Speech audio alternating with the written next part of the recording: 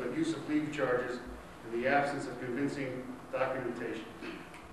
Here's the Secretary of Labor rebuking employees in EPA when the EPA people, their superiors, did not take the same action. What does that say about what's going on at EPA? When people with such a slipshod approach to their management duties are responsible for protecting the drinking water supply of the United States, all who use public water supplies are at risk. It's this pervasive, slipshod attitude set by two of the most important U.S. government officials responsible for protecting the health and safety of public water supplies that in no small way contributed to the latest in a series of public health disasters, such as the recent boil water order for the District of Columbia. Yet true scientists, such as Dr. Joseph Cotruvo, who's still head the Criteria Standards Division at EPA, I am absolutely sure to this day that none of these things would have happened. The second and, and an even more frightening aspect of my case is the role of the Office of Inspector General.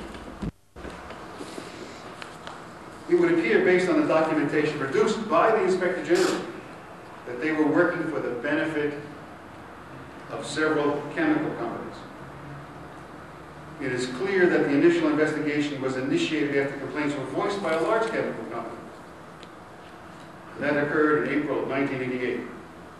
The evidence gathered by the Inspector General's office shows unequivocally that by the end of May 1988 there was absolutely no basis for any of these charges.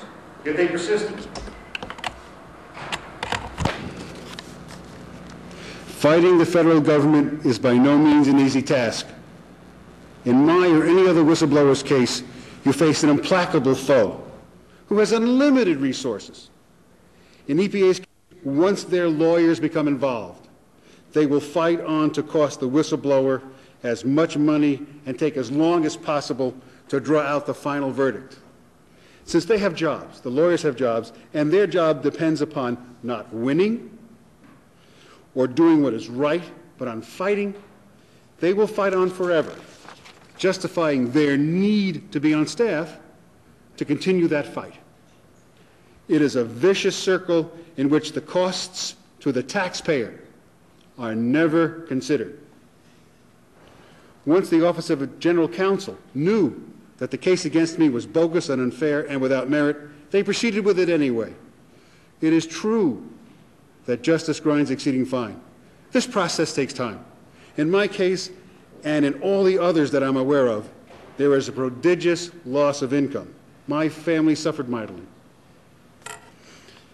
Initially, there's an embarrassment of being fired and having to explain time and time again that this action was wholly unfair and why it was unfair.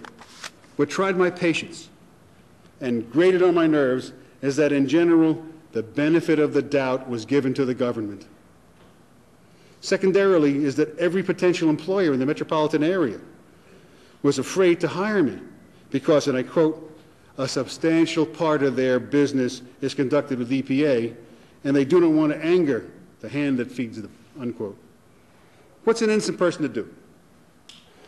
His means of livelihood is snatched from him, an expensive lawsuit will surely follow. Inevitably, bills arrive. Mortgages must be paid, college fees must be paid, and suddenly the income necessary to pay all these expenses is absent. That scenario frightens even the most honest and responsible federal worker. And well, it might, because it happened to me and my family. Injustice to me and my family was particularly hard. My daughters changed their plans for an education. My older daughter had to postpone her plans for medical school until the money could be found to pay for it.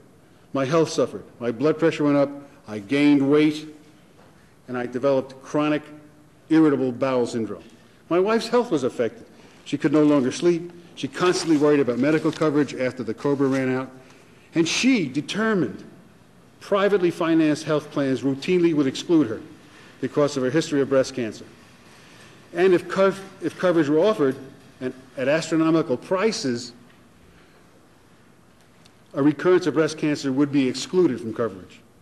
Her stomach was constantly in an uproar.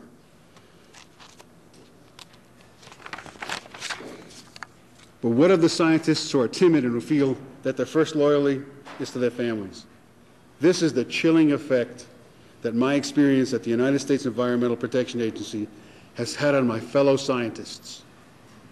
How can the public be protected when the people charged with this mission are afraid that telling an unpopular truth, or as in my case, writing a position paper that does not conform with already established policy, results in their firing?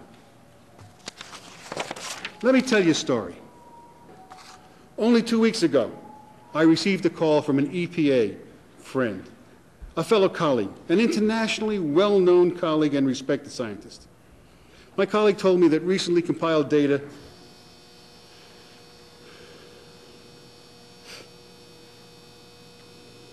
shows that one of the causes of breast cancer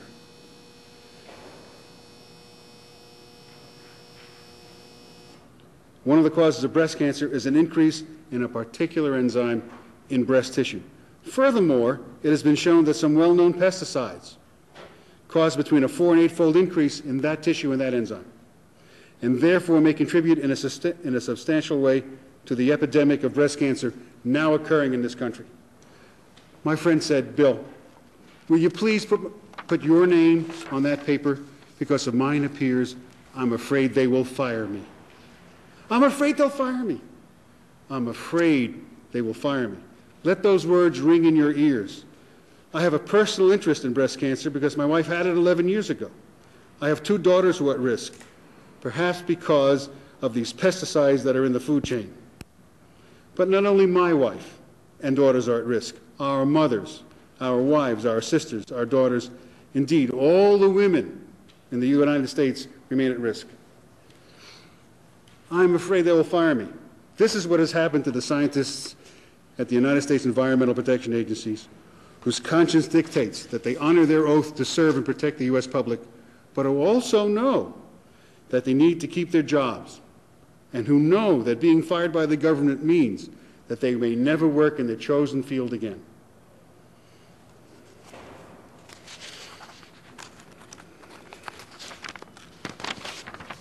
I want to say this again. The Secretary of Labor has issued an unprecedented rebuke to the Inspector General's Office of EPA.